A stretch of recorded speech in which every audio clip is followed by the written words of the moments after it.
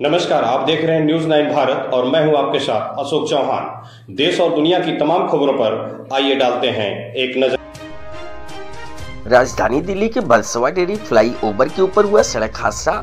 शाम के वक्त संतुलन खोकर पलटा टेंपू ड्राइवर गंभीर रूप से हुआ घायल।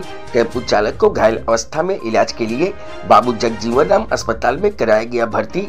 सड़क हादसे की वजह से आउटर रिंग रोड पर लगा भीषण जाम। कई किलोमीटर जाम में फंसे रहे लोग। पुलिस पूरे मामले की जाँच में जुटी। राजधानी दिल्ली में कोहरे के साथ साथ अब सड़क हादसों में भी इजाफा होता हुआ दिखाई दे रहा है। ताज़ा मामला दिल्ली के भलसवा डेरी इलाके से सामने आया है, जहाँ फ्लाईओवर के ऊपर देर शाम अचानक एक टेंपू बेकाबू होकर पलट गया, जिसमें टेंपो चालक को गंभीर चोट आई और उसे इलाज के लिए नजदीकी अस्पताल में भर्ती कराया गया। शाम के वक्त मुकरबा चौक से बुराड़ी की तरफ़ आते हुए जैसे ही commercial tempo Bhalswa flyover के ऊपर चढ़ा तो एक वाहन को ओवरटेक करने के चलते वो बेकाबू हो गया।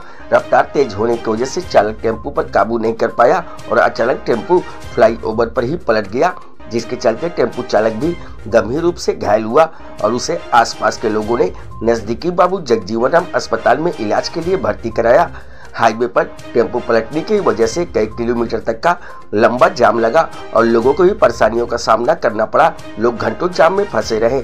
आउटर रिंग रोड, जो कि व्यस्तम रोड में से एक मानी जाती है वहाँ पर कुछ ही मिनटों में लंबा जाम लगने की वजह से लोगों को भी काफ़ी परेशानियाँ हुई। फ़िलहाल दिल्ली पुलिस को पूरे मामले की जानकारी दी गई, जहाँ पुलिस मौके पर पहुँची और दो घंटे के बाद पलते हुए टेंपो को हाईवे से हटाकर दूर किया गया। न्यूज़ नाइन भारत के लिए, दिल्ली से संजय सिंह की रिपोर्ट।